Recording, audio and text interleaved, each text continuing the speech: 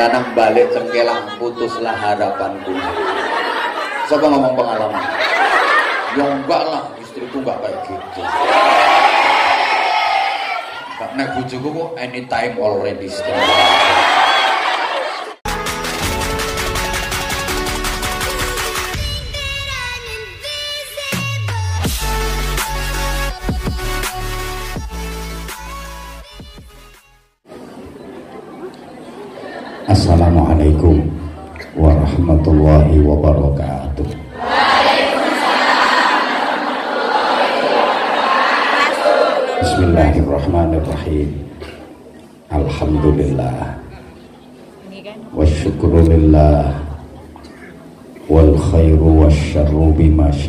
kalimatillah Asyhadu an la ilaha illallah wahdahu la syarikalah Wa asyhadu anna muhammadan abduhu wa rasuluhu la nabiyya ba'dah. Allahumma salli wa sallim wa barik ala man fihi uswatun hasanah. Sayyidina wa maulana Muhammadin sahibis syafa'ah. وعلى آله وأصحابه والتابعين ومن تبع رشده. سبحانك لا علم لنا إلا ما علمتنا إنك أنت العليم الحكيم. رب اشرح لي صدري ويسر لي أمري واحلل عقدة من لساني يفقه قولي واجعل لي وزيرا من أهلي. Ahli Rabbana iftah bainana wa baina qaumina bil haqqi wa anta khairul fatihin. Rabbana atina min ladunka rahmah wa hayyi lana min amrina rasyada Rabbana atina fid dunya hasanah wa fil akhirati hasanah wa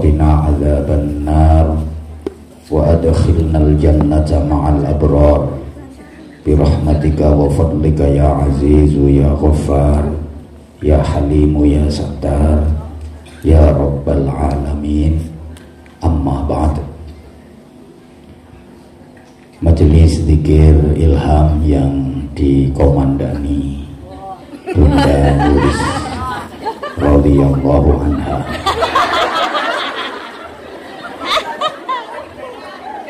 Bersama Majelis Taklim Raudhatul Jannah serta jamaah sekalian kalau tadi Bunda Nuris sempat menyampaikan anak saya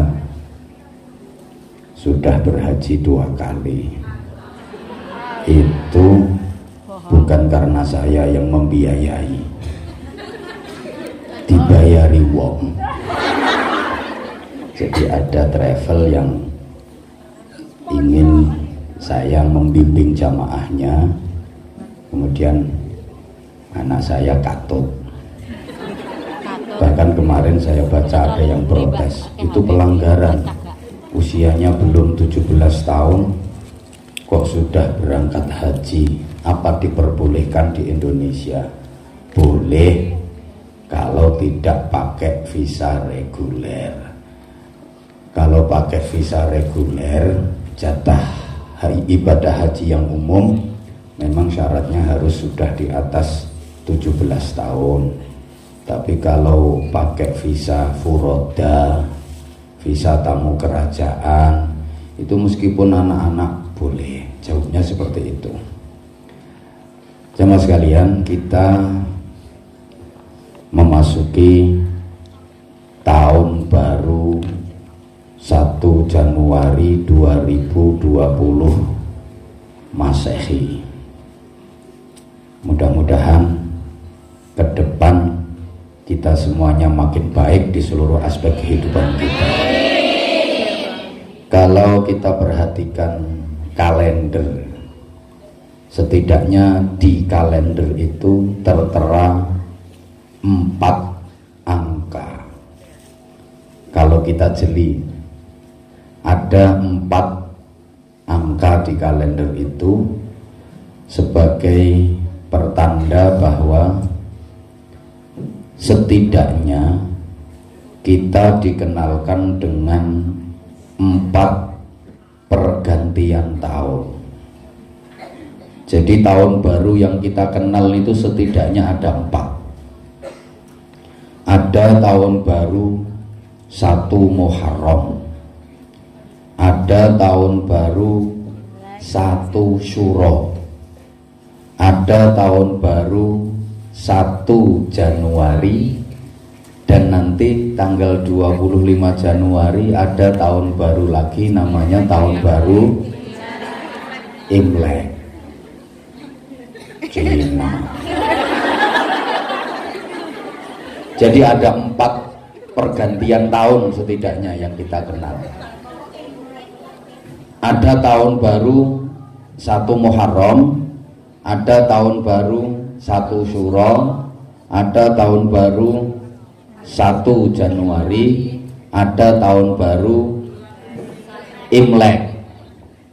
Kita dikenalkan dengan empat budaya setidaknya. Tahun baru satu Muharram itu tahun baru Islam. Tahun barunya orang yang ikut ajaran-ajaran Islam. Tahun barune wong-wong sing melu Gusti Allah. Tahun baru satu suro itu tahun baru Jawa. Tahun barunya wong-wong sing melu simbah-simbah tahun baru satu Januari itu tahun barunya kelompok orang-orang barat itu tahun barunya orang-orang yang ikut kaum penjajah. Tahun baru Imlek itu tahun barunya Cina. Tahun barunya orang-orang yang ikut aliran duit kadah jadi ada tahun barunya orang yang ikut Gusti Allah ada tahun barunya orang yang ikut simbah-simbah ada tahun barunya orang yang ikut kaum penjajah dan ada tahun barunya orang yang ikut duit kata.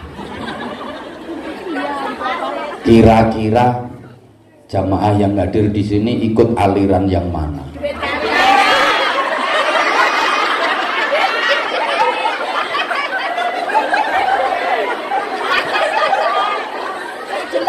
satu Muharram itu disebut tahun baru Islam tahun barunya orang-orang yang berpegang teguh pada syariat, akidah dan akhlakul karimah. Orang-orang yang menjalankan ibadah sesuai dengan ajaran agama, berpegang teguh pada akidah yang lurus ahlu sunnah wal jamaah dan menjunjung tinggi akhlakul karimah. Satu surah itu tahun barunya.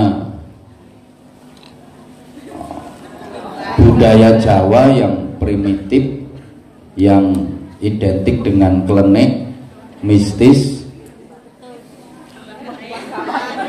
Apa nahi pokoknya klenik mistis primitif.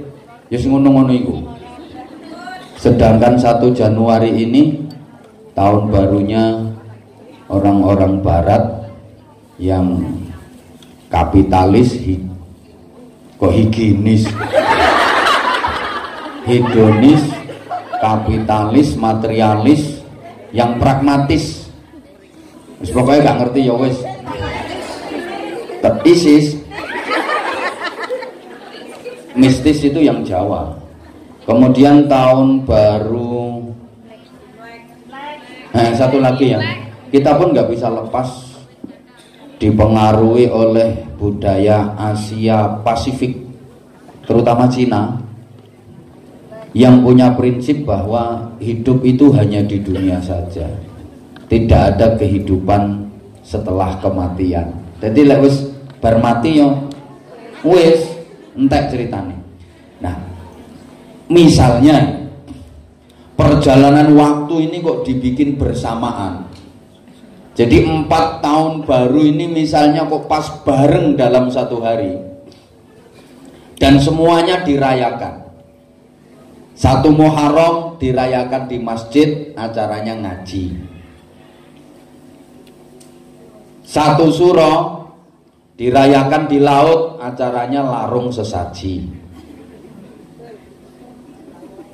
Satu Januari di lapangan lebar luas alun-alun acaranya penyanyi campur sari dan kembang api.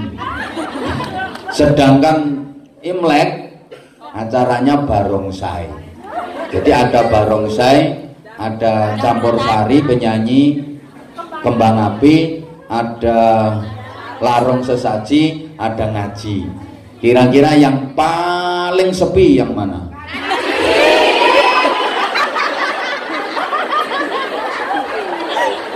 yang paling rame?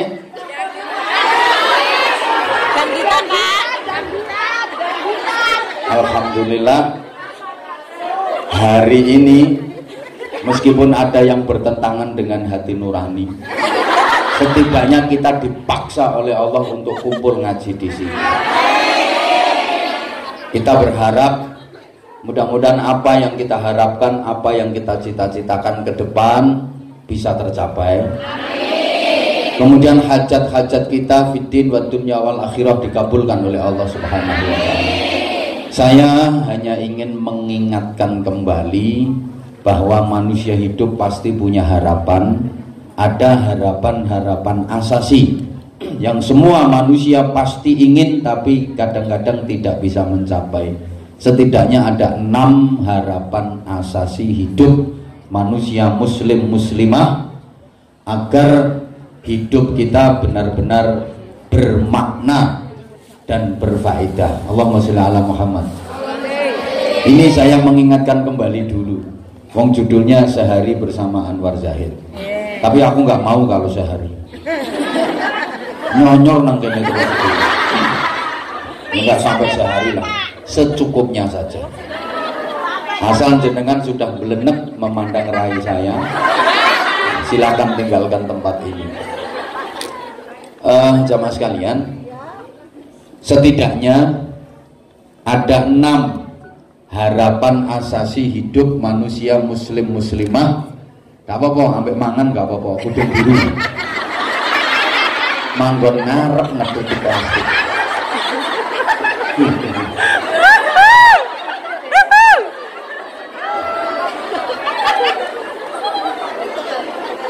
agar hidupnya bermakna setidaknya ada enam harapan asasi. Yang pertama apa? Lupa. Ya, dulu kok belum. Dulu nggak tahu, sekarang lupa.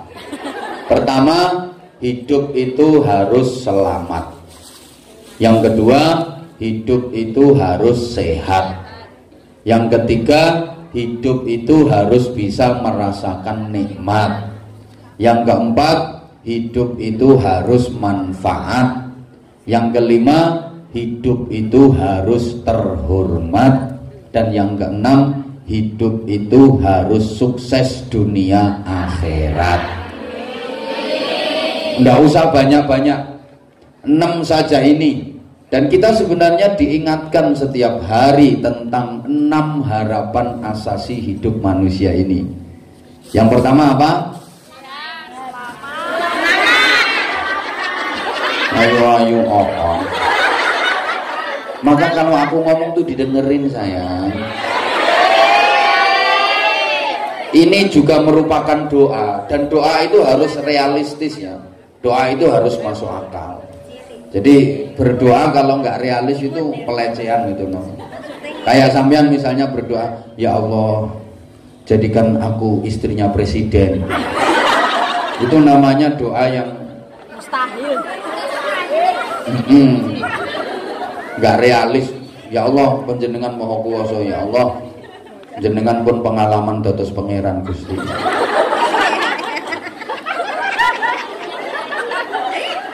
saya punya ayam. Bikin telur ayam saya itu sebesar bola voli. Itu namanya pelecehan malah. Sesuatu yang nggak mungkin. Pertama apa tadi? Selamat. Kedua? Sehat. Ketiga? Nikmat. Keempat? Manfaat. Kelima?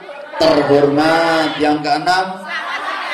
Sukses dunia akhirat. Udah nanti dibikin status atau story dibikin snap dibikin bumerang terserah.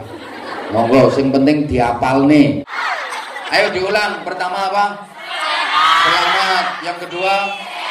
Sehat. Yang ketiga? Nikmat. Yang keempat? Manfaat. Yang kelima? Terhormat. Yang keenam? Sukses dunia akhirat. Makanya gini dong udah cantik pinter bedol dasar. Pertama hidup itu harus selamat. Dan kita diajarkan untuk itu. Semua ingin selamat. Bahkan orang mati saja didoakan agar selamat.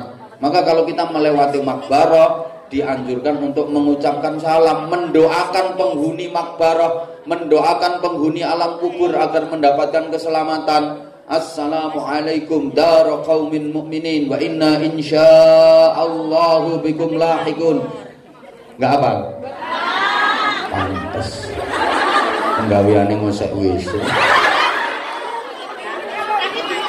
Gini loh, kalau Anda melewati makbarah suka mengucapkan salam, maka nanti ketika Anda sudah menjadi penghuni makbarah, orang-orang yang melewati kuburan Anda pun akan mengucapkan salam. Nek saiki sampean saya urip gak gelem salam ketika melewati makbarah, makbarah orang Islam loh ya. Mun aku kuburane jenengan assalamualaikum. Gak usah. Gak masuk. Lek saiki sampean sing urip lewat kuburan gak gelem ngulo salam, engko giliran sampean mati, orang-orang yang lewat kuburanmu males ngucapno salam. Nah, salam itu bermakna doa. Assalamualaikum semoga keselamatan itu atas kalian semua. Lho iki lho apike wong Islam. Jangankan dengan yang masih hidup, dengan yang sudah mati saja masih nyambung komunikasi, masih saling mendoakan. Ini ajaran. Jadi sekali lagi ini juga merupakan dalil bahwa mendoakan orang yang meninggal itu pasti sampai ya, karena ada kelompok-kelompok yang mengatakan doa untuk orang yang meninggal itu nggak sampai.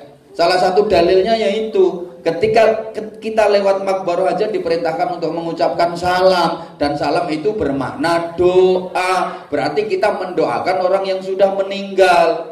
Begitu kok nggak sampai loh. Embuh. Gak usah bahas ngono-ngono itu tambah ngeluh. Makanya saya sering bilang ketika ada orang yang mengatakan siapa pun dia ustadz siapa pun dia, kalau dia bilang mendoakan orang yang sudah meninggal nggak akan sampai nggak usah didengerin. Orang itu ngopinya kurang jauh. Bismillahirrahmanirrahim. Allahumma sholli ala Muhammad. Allahumma sholli ala Muhammad apalagi dengan sesama muslim muslimah yang masih hidup setiap berjumpa dianjurkan untuk mengucapkan salam. Assalamualaikum. Ini kan pelajaran bahwa kita itu ingin hidup selamat. Kapan pun kita ingin selamat di mana pun kita ingin selamat dalam kondisi bagaimanapun kita ingin selamat lagi ngerjain apa pun lagi melakukan apa pun kita ingin selamat. Maka ucapan selamat ini menjadi tradisi di masyarakat kita. Kalau sesama muslim assalamualaikum. Secara nasional ketika berjumpa ya selamat pagi, selamat sore, selamat siang, selamat malam. Kapan pun di mana pun kita memang ingin selamat. Ada yang lagi ulang tahun juga dikasih ucapan selamat ulang tahun. Ada yang lagi nikahan juga dikasih ucapan selamat menempuh hidup baru. Ketemu ya selamat berjumpa. Ada yang lagi bepergian ya selamat jalan. Kok selamat tinggal? Ketoro berpegatan ini. Iya ada selamat tinggal, selamat berpisah, macam-macam. Ini bukti bahwa kapan pun di mana pun dalam kondisi bagaimanapun kita ingin selamat. Kayak ini kan banyak ucapan selamat tahun baru. Lagi lebaran ya selamat hari raya idul fitri idul adha. Pokoknya gitu. Selamat selamat selamat selamat selamat selamat selamat selamat dan selamat. Itu menjadi tradisi. Orang Jawa juga begitu. Sugeng enjing sugeng siang sugeng sonten sugeng dalu sugeng nggih rawuhipun sugeng itu kalau laki-laki bilang ke perempuan. Kalau perempuan ke laki-laki nggih lujeng. Biasanya gitu orang Jawa. Lujeng soalnya alunnya ten ngajeng tapi kalau sugeng itu susunya ageng. Eh sembuh, sembuh ben gak ngantuk ben gak ngantuk. Nah. Loh, itu sampai di kendaraan-kendaraan besar itu di bak belakangnya biasanya utamakan selamat. Karena memang kita hidup ini ingin selamat tapi ternyata tidak mudah loh untuk mendapatkan hidup selamat itu. Nggak mudah. Kadang-kadang mesti hati-hati seorang selamat bahkan sekarang banyak anak-anak muda yang dalam bergaul tidak selamat. Kecelakaan. Akhirnya terlibat pemilu perkawinan hamil dahulu. LKMD lamaran Kerry meteng bahasa Inggrisnya the tengkek biri. Meteng dikek rabi hari ada yang sudah jadi pejabat saja nggak selamat eh ceplok ya ben. Biayaan pola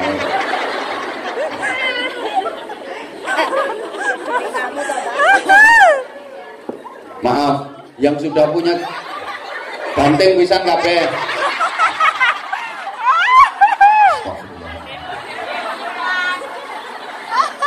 udah udah udah Wong sing wis dadi pejabat ya kadang-kadang gak selamat. Ada nggak pejabat yang tidak selamat? Banyak. Banyak. Yang jelas kita semua pengen Selamat sampai orang Jawa itu punya anak yang dikasih nama Selamat.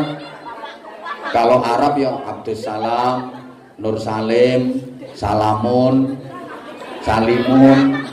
Nah itu ya Salma, Silmi, Salama. Itu karena memang semua pengen selamat sampai masyarakat kita punya budaya namanya selamatan karena ingin Selamat, mudah-mudahan, mudah-mudahan kapan pun, di mana pun kita senantiasa diberikan keselamatan oleh Allah Subhanahu Wa Taala. Selamat itu penting. Orang sakti itu kalah sama orang selamat, betul? Mau sakti ini gak selamat itu nyonyor. Orang kaya raya tetap kalah sama orang selamat. Makanya selamat itu penting. Berbahagialah yang suaminya bernama selamat. Karena dia selalu didampingi oleh keselamatan, selalu didampingi oleh selamat. Wes, wes, wes. Sekarang yang kedua. Gak suwe-suwe. Hidup itu. Ya. Hidup itu pertama harus selamat. Wes, mangan ya pengen selamat, mangan ya gak selamat, kolu sak sendok-sendok oh.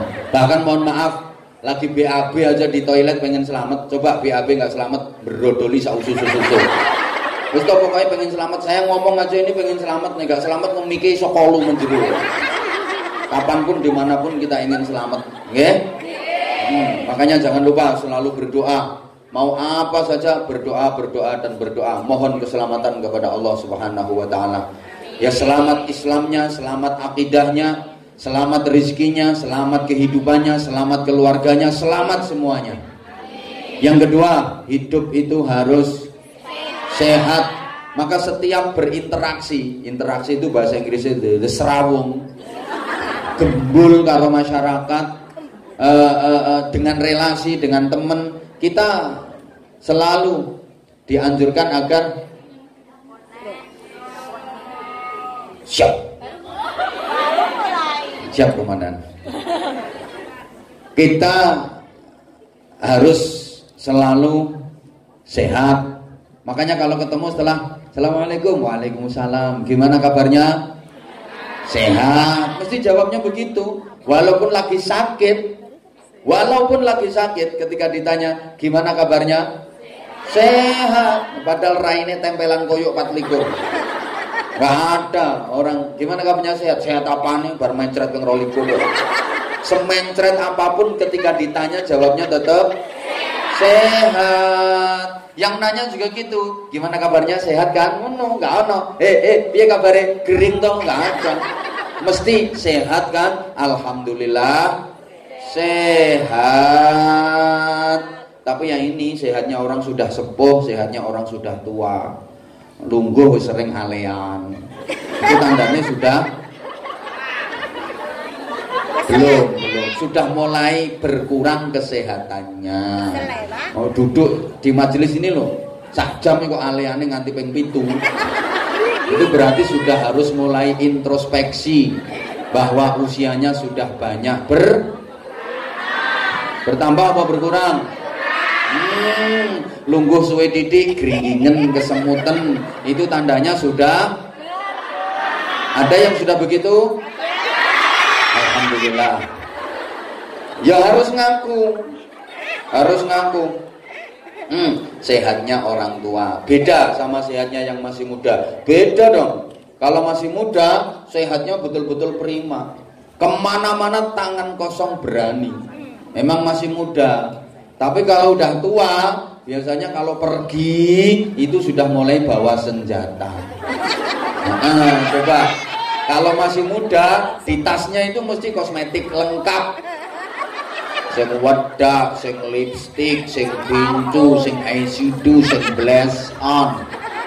Cermin nggak pernah ketinggalan. Parfum sampai pengharum kelek. Tapi kalau udah tua, di tasnya itu apa yang dibawa? Balsem, remason, minyak angin, minyak kayu putih, aromaterapi. Betul? Saya beberapa waktu lalu pernah ngaji bareng sama pejabat-pejabat ya. Nah, kebetulan waktu itu badan saya lagi kurang sehat. Bentar-bentar bersin, bentar-bentar bersin. Itu pejabat yang pas di samping saya nanya oh, Ustaz nah, flu ya? Iya kayaknya. Saya ngomong iya kayaknya itu kanan kiri itu semua langsung ngeluarin minyak angin. Aku mikir ya Allah pejabat loh yang bawa senjata minyak angin.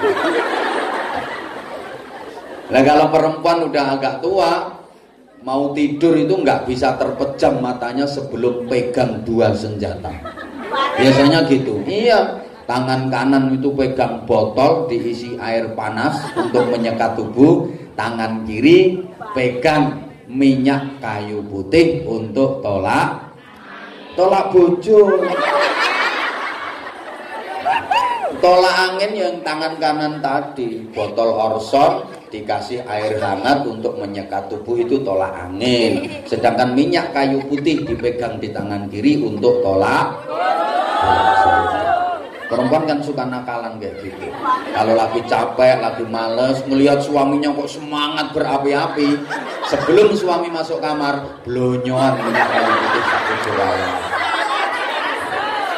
Ternyata suaminya gablek sudah blonyoan minyak kayu putih kok panggah ngeyel ae tambah remason. Remason belum mempan labur Pak Goda. Masih belum mempan parut ke Brambang. Eh kena parutan Brambang senjata pamungkas. Sing lanang balik cengkelang putuslah harapanku. Siapa ngomong pengalaman? Ya enggak lah, istriku enggak kayak gitu. Nek bojoku kok anytime already. Allahumma sholli ala Muhammad. Allahumma sholli ala Muhammad. Maka kita dianjurkan untuk selalu menjaga kesehatan. Jaga kesehatan itu hukumnya wajib. Sekuat apa pun iman seseorang kalau nggak sehat ibadahnya nggak bisa sempurna. Betul?